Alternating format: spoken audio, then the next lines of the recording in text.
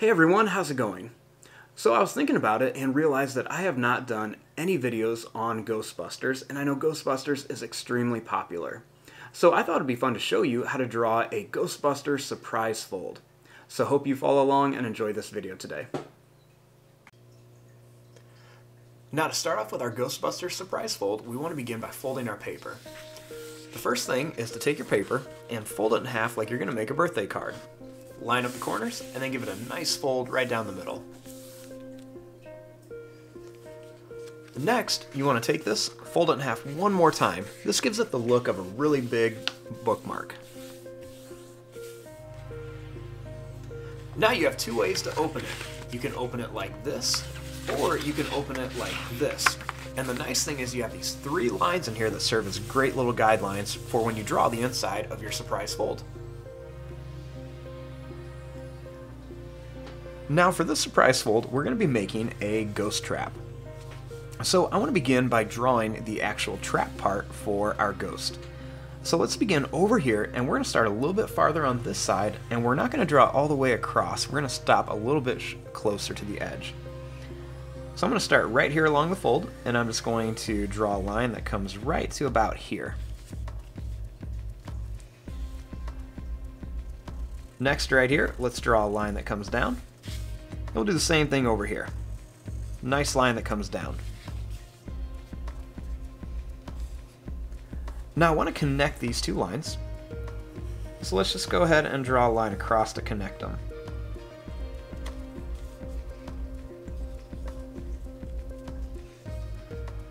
Starting here, let's draw a line that's going to go over. We're going to come down and then back over for a little detail on our ghost trap.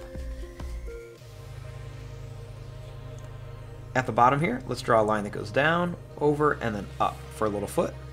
Same thing here, down, over, and up.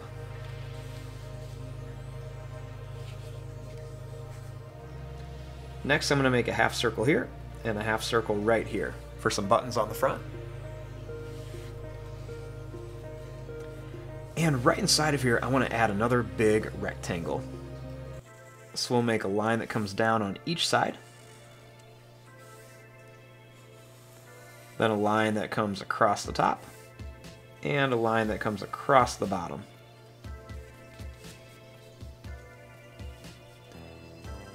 Inside of here, let's make a square shape.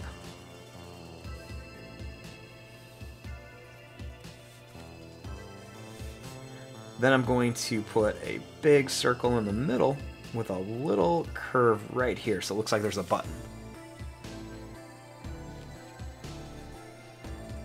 And in the corner of each circle, let's make a small black dot, so it looks like there might be some little screws in there.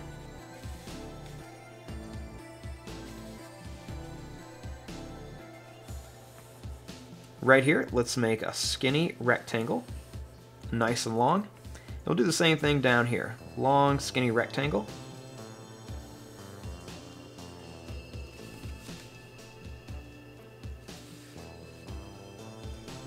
Now for the handle.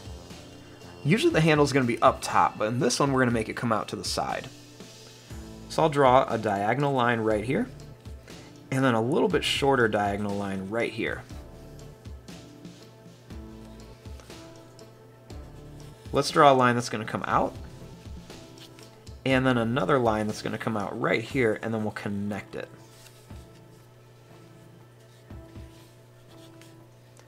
Let's make a line that curves here, and then we'll make some little curved lines all the way across here.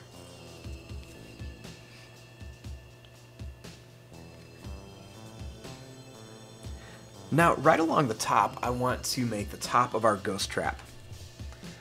So let's begin by drawing a line that's going to come up. We're going to go over and down. Then I want to make a line that's just going to come right across the fold. I'm going to turn my paper a little bit so I can get a nice straight line. And I'm just going to draw this line right across the fold here. Sometimes it's a little bit tricky just because that fold has some bumps in it.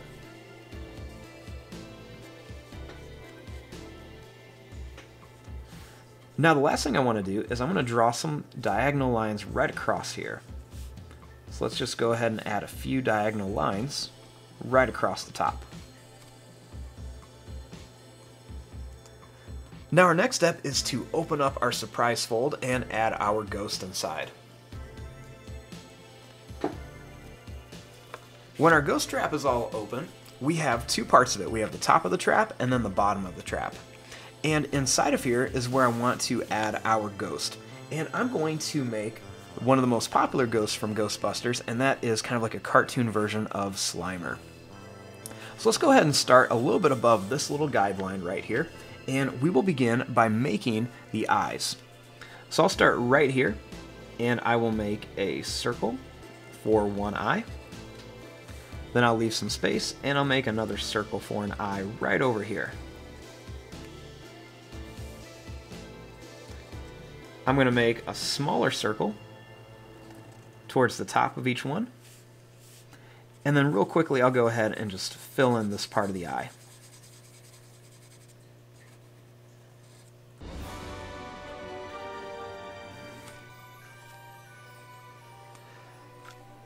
In the middle between the eyes, I'll make a small oval shape, but I'm not going to connect it all the way. I'll leave just a little bit open. And I'm also going to add two eyebrows right above each eye. I want to give Slimer a big smiley face for the mouth. So we'll make a line that's going to curve up. We'll go down and then up, and then we'll start to come back down.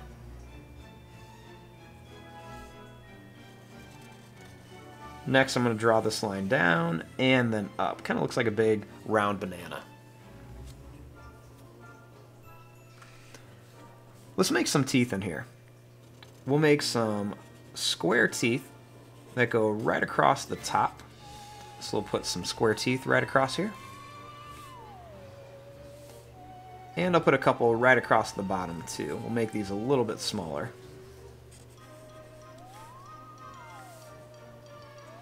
We'll make a line that's going to come up and down, and then up and down for the tongue.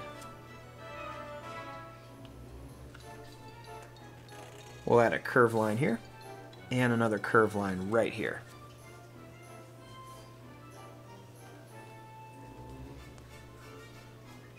Right here, we'll make a line that's going to come down, and then one over here. We're just going to kind of come down and in. And then right here we'll make a line that's going to go up. It's going to go over and come down.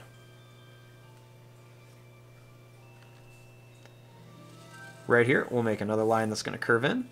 And then one more here. And we'll make one here. And one right here. And then we'll just kind of connect it.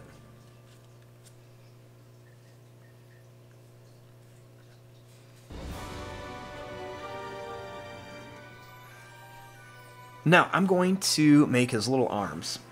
To do that, let's start over here. We'll draw a line that's going to go down and then up. We'll curve a line around here for a thumb.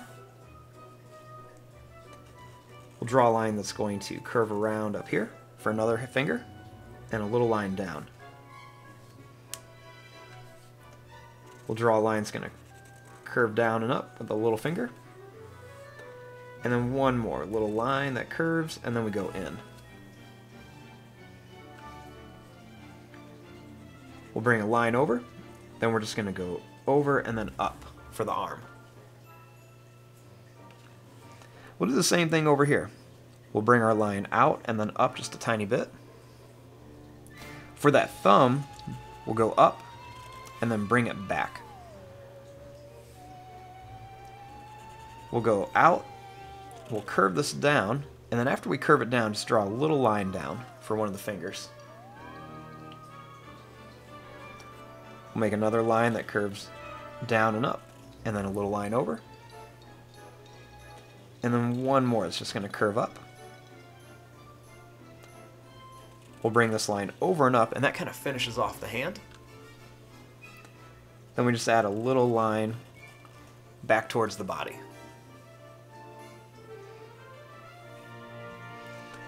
Now, I want to make it look like there is some slime in here because he is Slimer. So I'm going to make a little bit of slime just coming off of his hand. So we're just going to make some little wavy, squiggly lines coming down here.